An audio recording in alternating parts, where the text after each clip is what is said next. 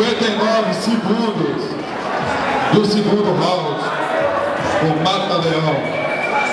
Ele, vencedor do cone azul, Michael Pitbull.